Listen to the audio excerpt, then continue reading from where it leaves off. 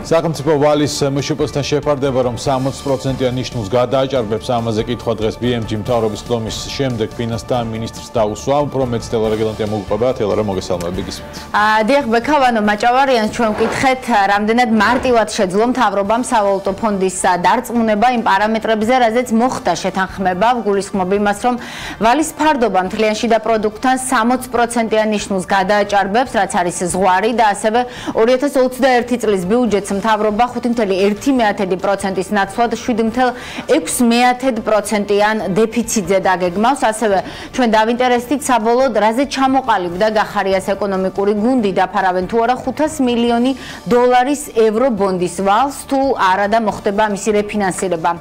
შეგვიძლია ახლა მოვისმინოთ ფინანსთა მინისტრის პასუხი. 60 და მოშიქება შეიძლება 62 42 შეიძლება გასაგებ მინდა გითხრათ რომ დარწმუნება არ არ გაგჭიროებია სავალუტო ფონდის დარწმუნება იმიტომ რომ სავალუტო ფონდი ძალიან ადეკვატური ორგანიზაციაა გამერწმუნეთ ძალიან ადეკვატური ორგანიზაციაა და განსაკუთრებით განსაკუთრებით ადეკვატური და მნიშვნელოვანია კრიზისების დროს. მათ კარგად იციან და კარგად გაიაზრეს.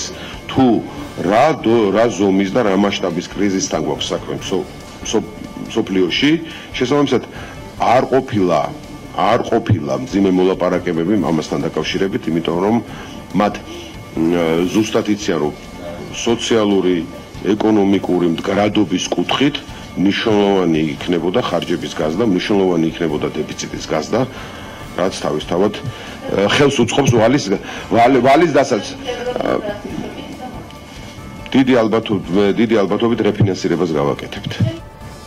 თუმცა ფინანსთა მინისტრი არც იმას გამორიცხავს, რომ 500 მილიონის ევრობონდები დაფაროს მთავრობამ. კიდევ ერთი თემა, რაზეც დღეს კითხვები დავსვით, შეეხებოდა ეგრეთ წოდებული ეკონომიკური მხარდაჭერის მეოთხე ფაზას, რომელსაც მთავრობა ამზადებს და აანონსებს ბოლო პერიოდში. კონკრეტიკაზე დღეს პრემიერ გიორგი გახარიას არ უსაუბრია, უბრალოდ თქვა, რომ ეკონომიკური გუნდი ეროვნულ ბანკთან და საერთაშორისო პარტნიორებთან ერთად მუშაობს მხარდაჭერის მეოთხე ფაზაზე, რომელშიც ასახული იქნება უკვე არსებული სოციალური მხარდაჭერის პროგრამების ნაწილი მოდერნიზებული ვერსიით. რაც შეეხება ბიზნესის მხარდაჭერის პაკეტებს, არც ამ კუთხით იყო დღეს პრემიერი კონკრეტული დეტალებზე, არც ფინანსთა მინისტრმა ისაუბრა. არადა ჩვენ გვაინტერესებდა დაახლოებით რა დაუჯდება უკვე მომავალი წლის ბიუჯეტს მხარდაჭერის მეოთხე ფაზა და რამდენად მიზნობრივი იქნება ის, მაგრამ როგორც ჩანს, ბიუჯეტის მესამე საბოლოო ვარიანტის წარდგენამდე მთავრობას არ უნდა ამ დეტალებზე დეტალებზე საუბარი,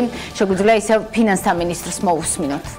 დაგვიგროვდა გამოცდილება და ჩვენ შევარჩევთ იმ არსებული არსებული პაკეტებიდან ისეც რომელმაც ყველაზე უფრო ეფექტურად იმუშავა. ამას განახებულ ბიუჯეტში ნახავთ ძალიან დიდი ხანს ლოდინი არ დაგჭირდება, უბრალოდ მონუნებს რო ნუ გაუცრებ, ჩვენ პრაქტიკულად გვაქვს მონახაზი, თუმცა ბოლო მომენტამდე ვიტოვებთ იმის თავისუფლებას, რომ თქო რაღაცა კორექტირება შევიტანოთ. ის ერთი რაც შემიძლია გითხრათ დანამდვილებით, რომელიც ეს პროგრამა დაიწყო და გაგრძელდება იმ წელს, ეს არის კომუნალური გადასახადების სუბსიდირება. მოკლედ უნდა დაველოდოთ 2021 წლის სახელმწიფო ბიუჯეტის პროექტის საბოლოო ვარიანტს, რომელსაც მთავრობა პარლამენტს ნოემბრის ბოლოს წარუდგენს და იქ გამოჩნდება ყველაფერი, ყველა რიცხვი, ყველა პროგრამა, ყველა დეტალი, რაც შეეხება იმას თუ რა დაიხარჯა სახელმწიფო ბიუჯეტიდან პანდემიის დაწყებიდან დღემდე, მართალია ჯანდაცვის მინისტრი არ გვაბარებს ჯერჯერობით ანგარიშს, მაგრამ ფინანსთა მინისტრმა დღეს სამი, ასე ვთქვათ, მსხვილი რიცხვი დაასახელა, ანუ მაჭავარიანის ინფორმაციით, სოციალური დახმარება დახმარების კუთხით დაახლოებით მილიარდ 150 მილიონი ლარი დაიხარჯა. ჯანდაცვაზე 375 მილიონი ლარის ფარგლებში ახარჯი ხოლო ბიზნესის მხარდაჭერა ჯამურად მილიარდ ნახევარ ლარამდე იყო. მთავრობა ფიქრობს და იმოწმებს საერთაშორისო სავალუტო ფონდსაც რომ ეს პაკეტები იყო ადეკვატური და მიზნობრივი. ბექა? მადლობა თელარა დავალოდოთ მოკლედ როგორი იქნება მეოთხე ფაზის პაკეტები რომელსაც მთავრობა ამუშავებს და რა დაგვიждდება გადასახადის გადამხდელებს